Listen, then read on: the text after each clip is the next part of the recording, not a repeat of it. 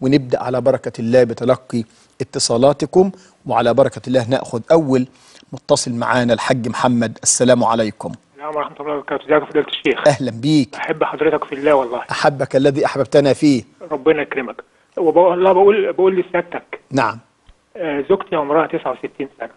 فجات لها جلطة بعد عنك جات لها جلطة شلل نسبي. ما يعافيها يا رب. ونسألك الدعاء. آمين.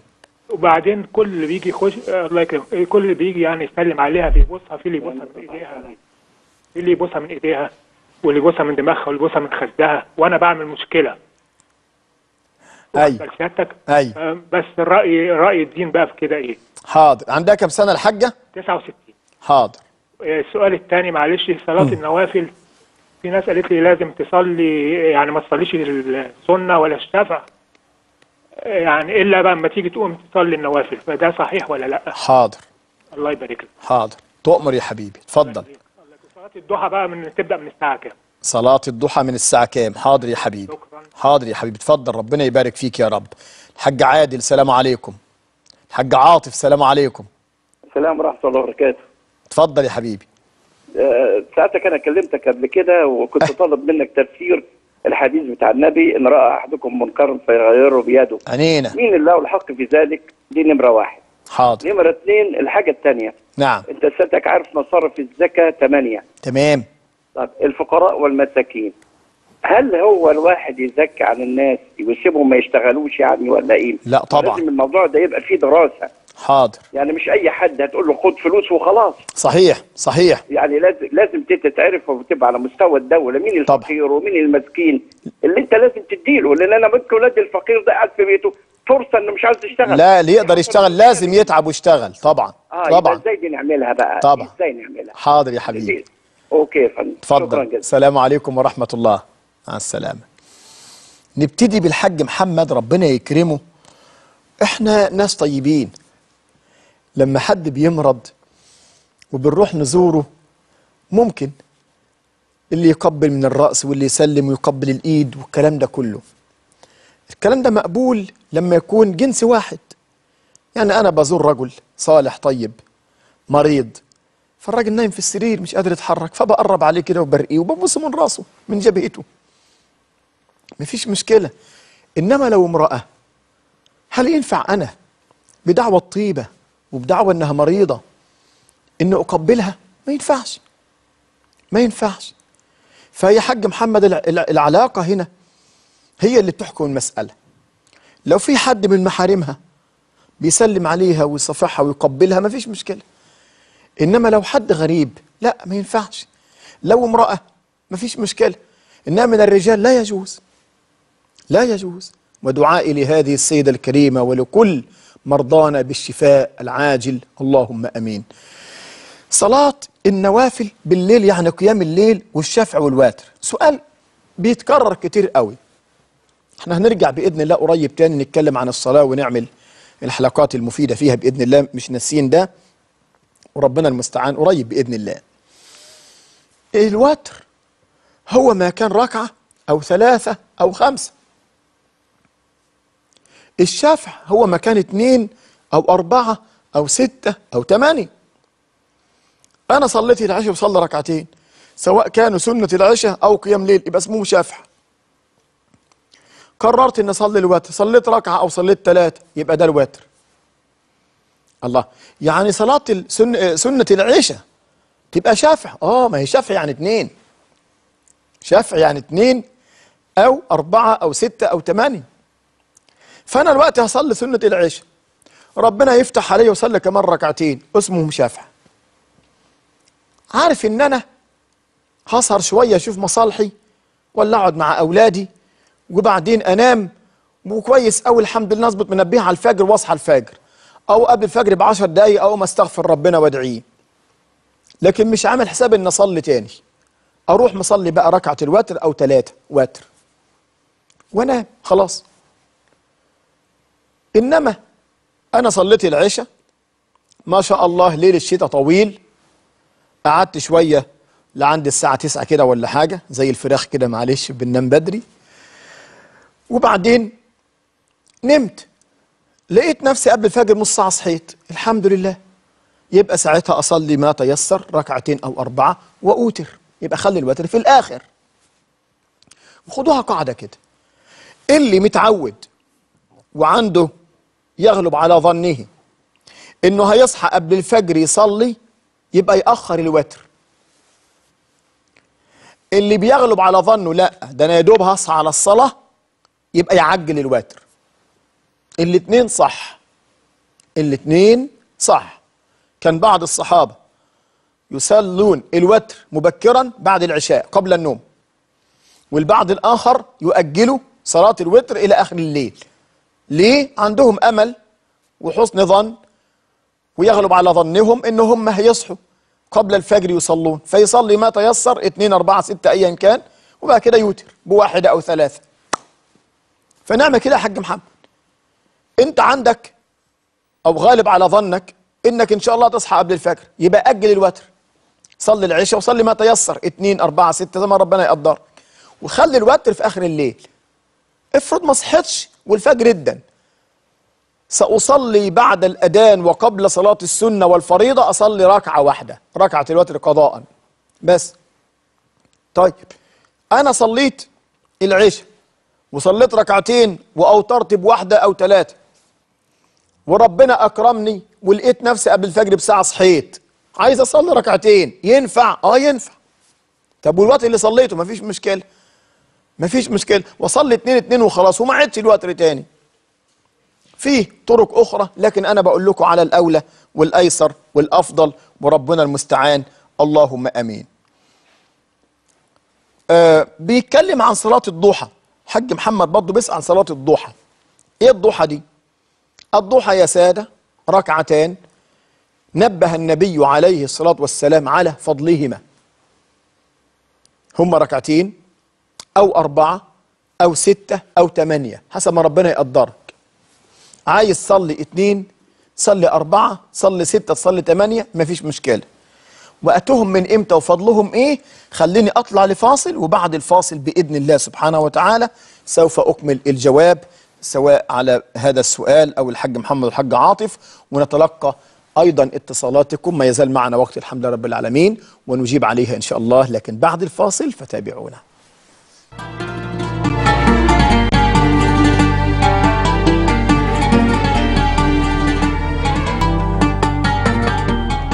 السلام عليكم ورحمة الله وبركاته. عدنا إليكم من جديد ونسعد بتواصلكم معنا معنا أختنا أميرة. السلام عليكم.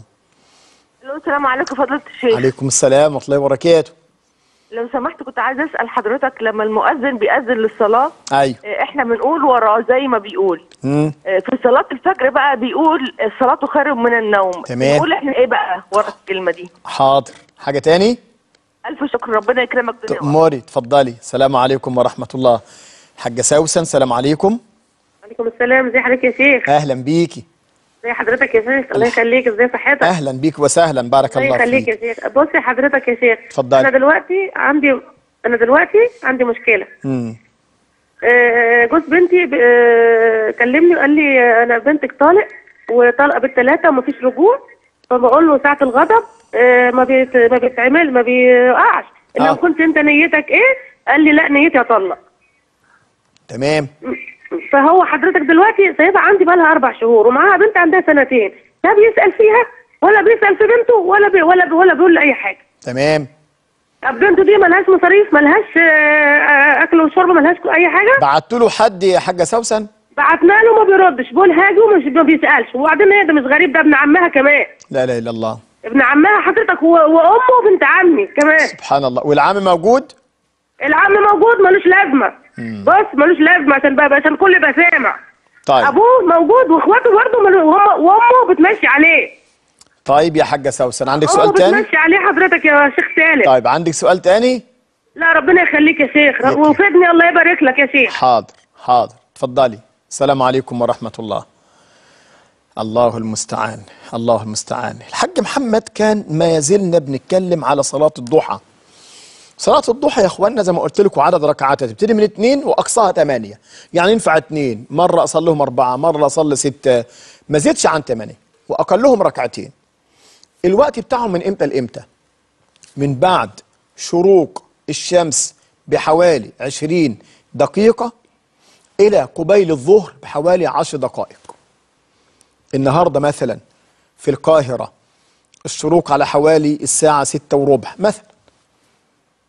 يبقى ابتدي أصلي الضحى لو عايز ابتداء من سبعة إلا تلت ستة ونص وخمسة وهكذا. يعني عدى 20 دقيقة تقريبا من بعد ميعاد الشروق الموجود عندنا في النتيجة. لعند يستمر الوقت ده لعند قرب الظهر قبل الظهر بعشر دقائق. فايدة الضحى إيه؟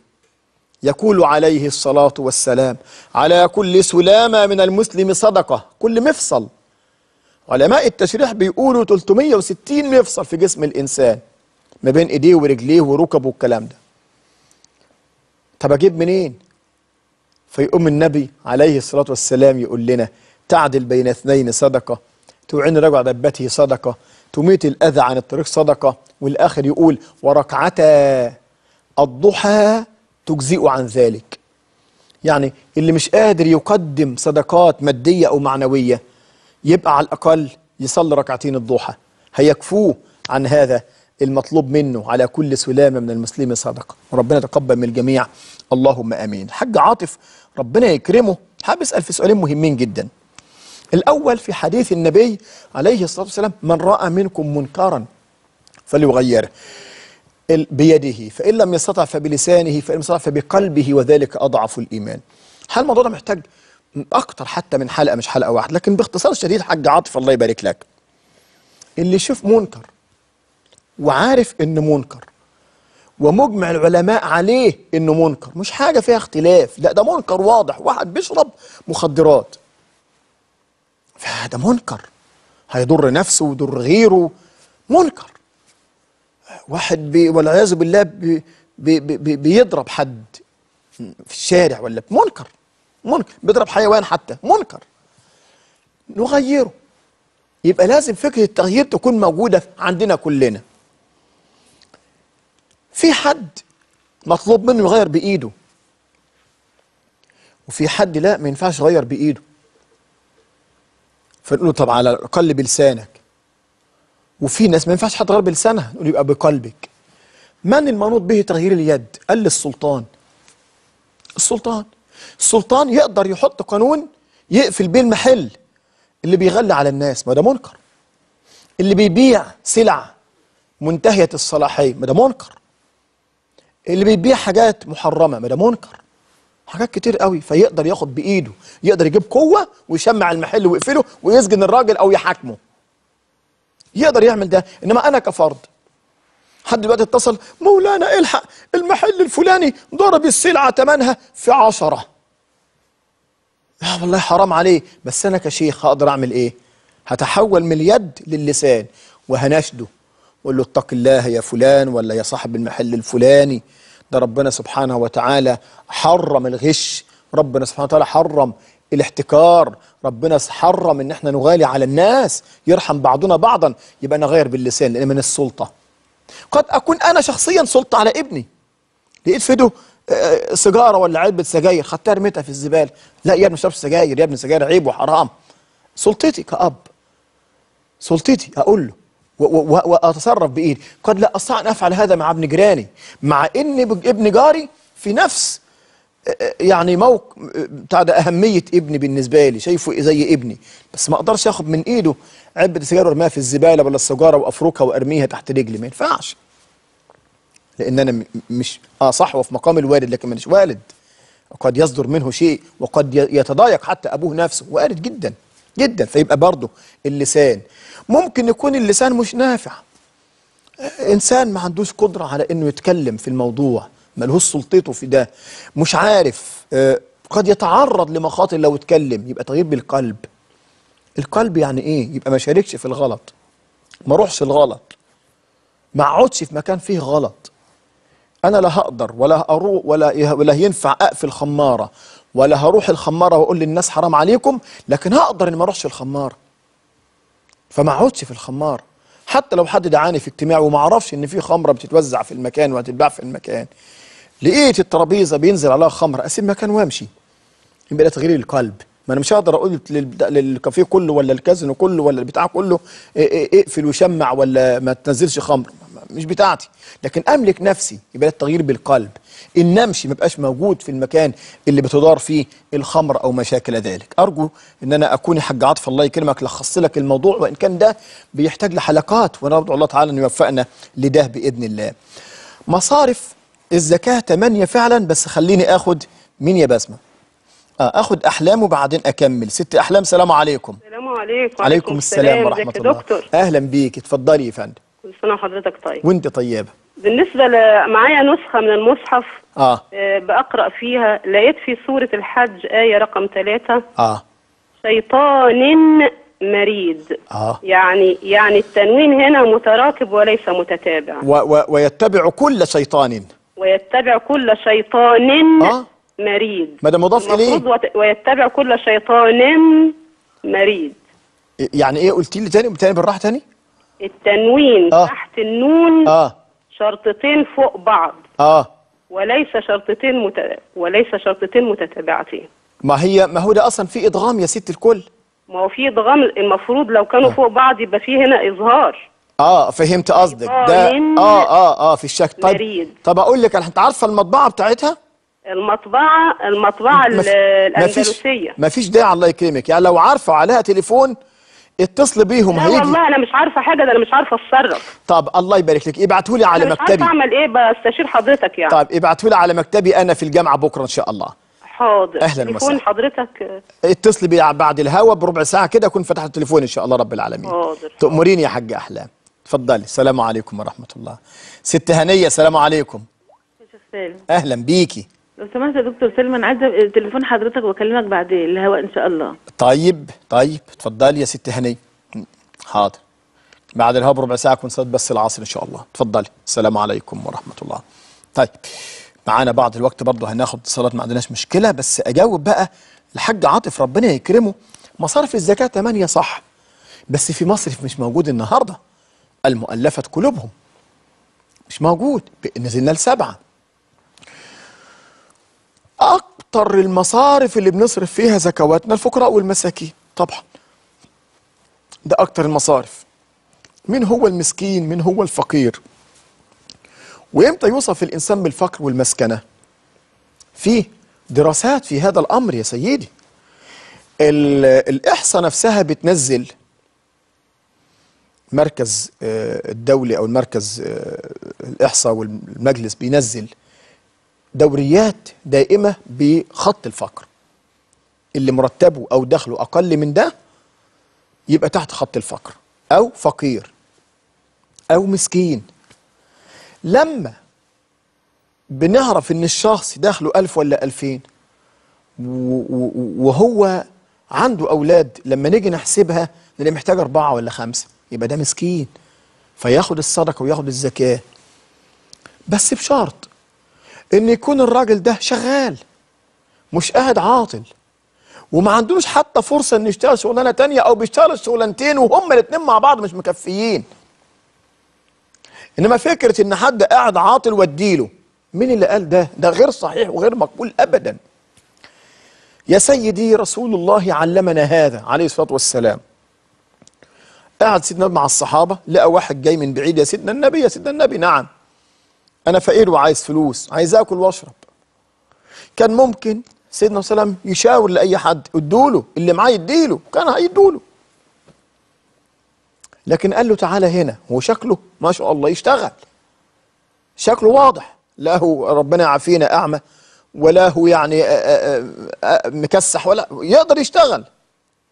فقال له تعالى هنا. أنت عندك حاجة في البيت؟ قال له آه عندي. قال له عندك إيه؟ قال له عندي مش عارف إيه بناكل فيه وإيه بنقعد. عليه قال هاتهم وتعالى حلس كده وبتاع. جابهم. راح سيدنا النبي أقام مزاد. شوف يا حاج عاطف سيدنا النبي أقام مزادا. وراح رافعهم في إيديه كده. مين يشتري دول مني؟ ما حدش محتاجهم أو ما يسووش. فواحد قام قال لا أنا أشتري بدرهم. قال لا لا لا مين يزود؟ فعشان خاطر سيدنا النبي صلى الله عليه وسلم حد قال أنا خدهم بدرهمين خدهم وهات درهمين. ماشي.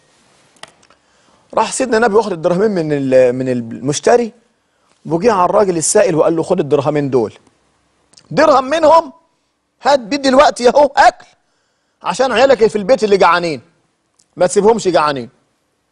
والتاني هات بيه قدوم. الراس اللي هي ال- البلطة بقى ولا الفاس أي حاجة اللي بيشتغل بيشتغلوا بيها دي. ماشي. راح الراجل على السوق جاب الأكل واداه لعياله وجه سيدنا النبي معاه الراس بتاعت القدوم ده ولا البلطة ولا بتاع زي ما بنسميه. راح سيدنا النبي جايب خشبة وهو بنفسه عليه الصلاة والسلام. والله بأبي هو وأمي صلى الله عليه وسلم. هو بنفسه اللي عمل له ال- الإيد دي في الحديده الرأس وظبطها وقال له اتفضل. تطلع دلوقتي تروح تشتغل ما تجينيش إلا بعد 10 15 يوم. مش عايز أشوفك إلا بعد 10 أيام ولا 15 يوم. راح الراجل غاب يشتغل يشتغل يشتغل ويحتطب ورجع لسيدنا النبي. بعد 10 15 يوم معاه إيه؟ معاه 10 دراهم. يحتطب ويبيع يحتطب ويبيع يحتطب ويبيع. بقى رجل معه مال. هي دي السياسة اللي ينبغي أن تنتهجها الدول والشعوب. إحنا مش هنتحول أداة لإطعام الناس فتتحول المسألة إلى الكسل والدعة. أدي الفكرة وأنا معاك في ده. وعلى فكرة الأصل في الدول الإسلامية وفي الشريعة أن تجمع الزكاة من خلال الدولة. تؤسس لذلك مؤسسة هي اللي تجمع الزكاة وهي اللي تحط ضوا- ضوابط للصرف وهي اللي تتولى المسألة. ما تتركش كده اعتباطا اللي خرج ولا اللي ما خرجش ولا اللي ودى لحد ولا ما وداش. لا مش متروكة كده. وكان في مناداه بداية حاج عاطف في برلمان 2005 تقريبا وأنا الحقيقة الفكرة لما عرضت عليا أنا رفضتها لأنه ما فيش ثقة. ما كانش فيه ثقة بين الناس وما تزال. محتاجين نرجع الثقة دي. بين عامة الشعب وبين الحكومة. فلما نيجي نقول عملنا مؤسسة للزكاة الناس هتتهرب من الزكاة زي ما بتهرب من الضرائب وهيقلقوا ويخافوا ال- ال- ال- ال- المصارف هتروح لفين الزكاة دي؟ وهتروح لمين؟ أيهم آه، من قريب منها يودي له من بيحب منها يدي له إلى آخره. فلما تعود الثقة ترجع الدولة تاني تجمع الزكاة مالهاش مشكلة ده الأصل. وهي تولى هذا الأمر وتحط ضوابط للجمع والإنفاق. ساعتها تبقى الزكاه بالفعل مورد عظيم جدا يغنى به الفقير مش بس ياكل ويشرب وتنشأ به بعض الأعمال والحرف الصغيرة للأفراد آه، على على مستواهم يشتغلوا ويغتنوا وبدل ما يبقوا آخذين ويد سفلى يبقوا معطين ويد عليا ده الهدف من الزكاة في الأساس والله المستعان. الست أميرة ربنا يكرمها بتسأل بتقول إحنا لما بنسمع المؤذن أمرنا أن نقول مثل ما يقول إلا في الحي علتين حي على الصلاة حي على الفلاح. بنقول لا حول ولا قوة إلا بالله. مرة تاني. المؤذن قال الله أكبر قلت الله أكبر. قال أشهد أن لا إله إلا الله قلت أشهد أن لا إله إلا الله. أشهد أن محمد رسول الله أشهد أن محمد رسول الله. وإن زدت هنا وأنا أشهد أن لا إله إلا الله. وأشهد أن محمدا عبده ورسوله. رضيت بالله ربا وبالإسلام دينا وبسيدنا محمد رسولا يبقى شيء عظيم. كان حقا على الله أن يرضي من قال هذا ثلاث مرات. نقولهم تاني. لما المؤذن يقول أشهد أن لا إله إلا الله نقول وأنا أشهد أن لا إله إلا الله وأشهد أن محمدا عبده ورسوله.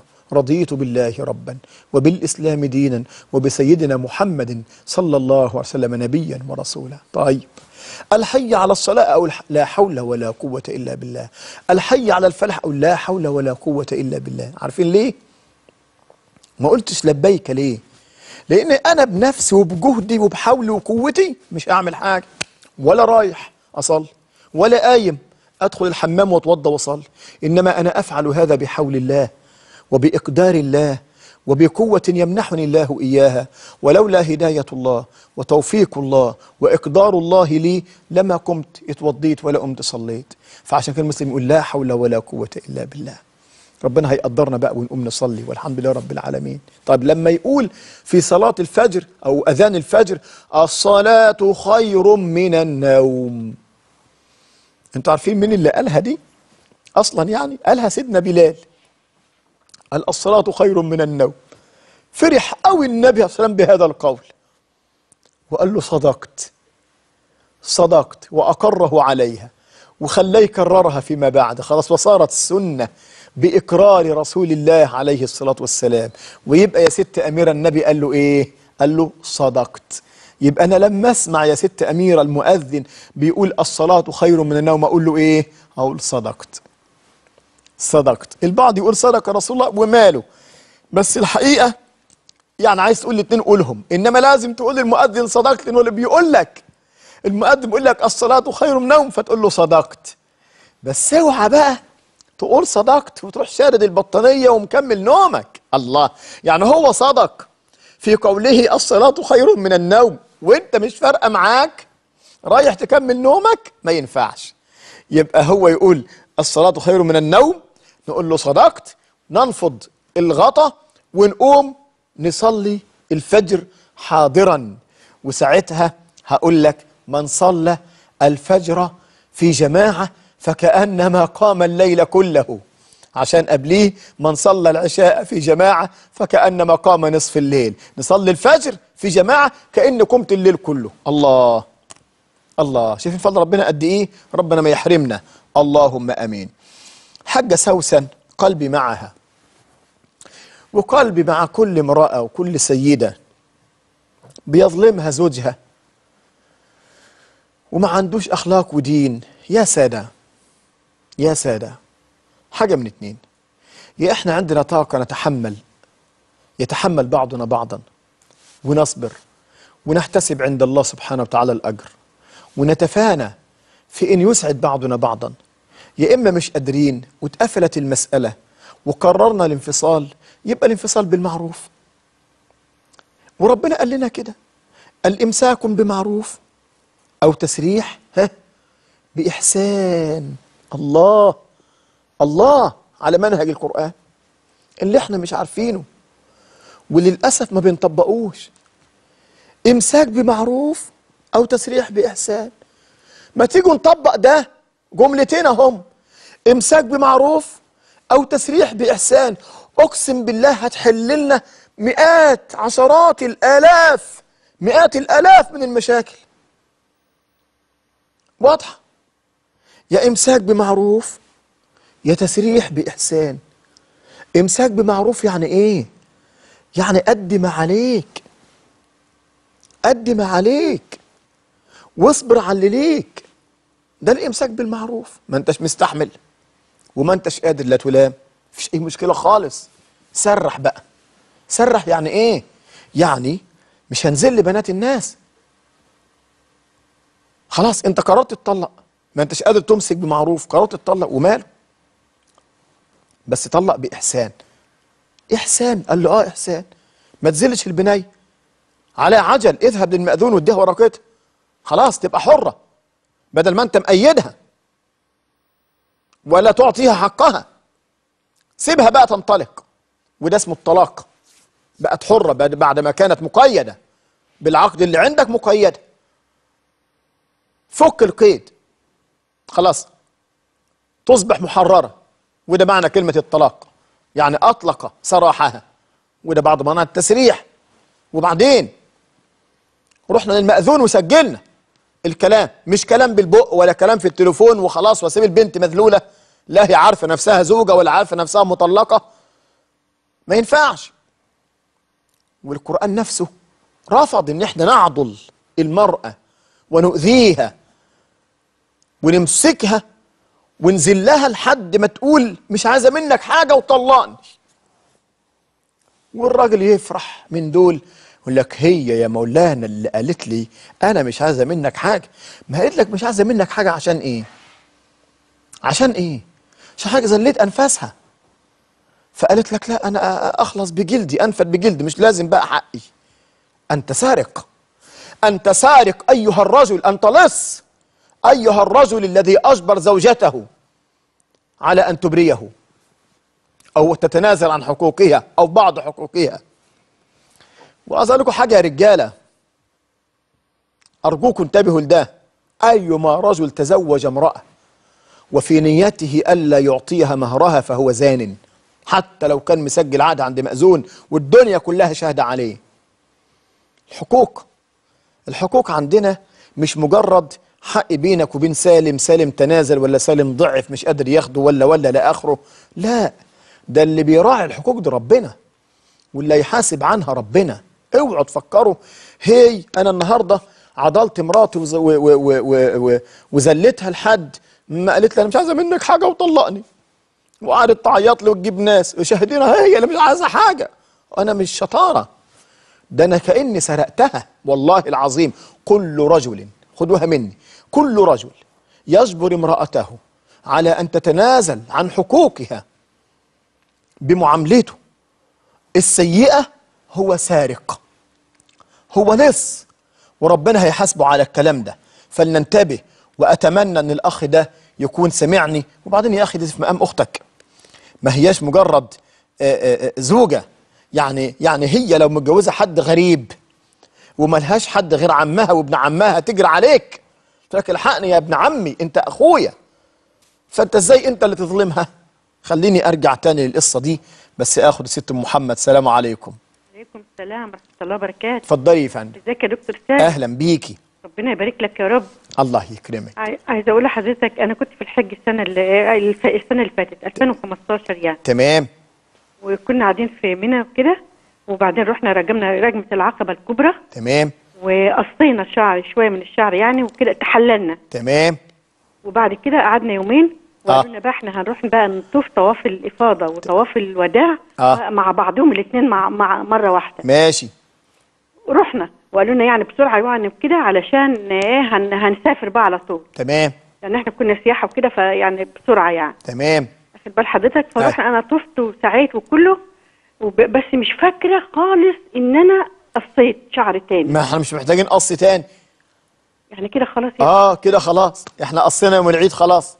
والله أيوه قصينا يوم العيد. آه مش عايزين قص تاني بقى. يعني بعد كده خلاص الله آه يا فندم هو. قص مرة وخلاص انتهى الموضوع. يعني ما عليش أي حاجة. لا ما عليكيش. والحج كده تمام؟ زي الفل. طب ادعي لي إن ربنا يتقبله لأنه لوالدتي. ربنا يتقبل يا رب ويجعله في ميزان حسناتك ويرحمها. اللهم آمين. الله يخليك يا دكتور الله يخليك ما تحرمش منك ابدا. اتفضلي. طب في حاجة تانية؟ تأمري تأمري يا أم محمد أنا لما كنت بحج وكده كان نفسي إن أنا يعني أشوف رؤيه لأمي. آه. إن هي مثلا فرحانة إن هي إن إن الحج وصل لها. كحاجه زي كده يعني أو حاجة تبين لي إن الحج تقبل من عند الله يعني. آه. مش عارفة ما, ما حصلش أي حاجة ما شفتهاش في رؤية خالص. طب وإيه رأيك في حديث ربنا سبحانه وتعالى الصحيح أنا عند ظن عبدي بي؟ آه ليها والله ده طيب. ليها ليها وأنا وأنا ست كبيرة ربنا يتقبل 38 ويحسن سنة. الظن بالله إن ربنا قبلها الحمد لله رب العالمين. ويكرمك ربنا ويرضيك يا ست محمد. اتفضلي السلام عليكم ورحمة الله. ويرحم أمك يا رب. وعلى فكرة أنت ما تحرمتيش الأجر. أنت لك أجر وهي لها أجر إن شاء الله. فلا تقلقي. الحاجة سوسن برجع أقول لها تاني. ربنا يكرمها وبخاطب كل الرجالة. يا إخواننا يا إمساك بمعروف يا تسريح بإحسان. تسريح بإحسان يعني إيه؟ اختلفنا. هي لا 5000 ولا 6000 لا خد الست. إلا إذا تناقشنا معاها. أنا مش قادر على الستة. طب خليهم خمسة. طب خليهم أربعة. يبقى في نوع من من هذا. وما يظلمش العيال في الموضوع. المساله دي محتاجة الحقيقة حلقات نتكلم فيها. لكن على كل حال يا حاجة سوسن الله يكرمك. يعني آه، قلبي معك ومع ابنتك. الجأوا لأهل المعروف من أهل الحي أو القرية. يقفوا معاكم ويقعدوا مع هذا الشاب. يا إما إنه يطلق بقى عند مأذون يا إما يرجع بنتك بالسلامة. وربنا سبحانه وتعالى يهيئ لكم الخير. ويا ست أحلام الله يكرمك. أنا في انتظار المصحف ابعتيه لمكتبي غدا أو هنتكلم في التليفون بعد ما نخلص. أهلا بيك وسهلا. سعدت بيكم وأرجو أن تكونوا قد سعدتم بنا. وبكرة بإذن الله نتقابل ونلتقي في برنامجكم المسلمون يتساءلون على خير إن شاء الله رب العالمين قبل هذا الموعد بساعة تقريبا. اللي ما تابعش حلقتنا من أولها يقدر يتابعها في الإعادة في الخامسة فجرا. وصلى الله وسلم على سيدنا محمد وعلى آله وصحبه والحمد لله رب العالمين. سلام الله عليكم ورحمته وبركاته. في أمان الله.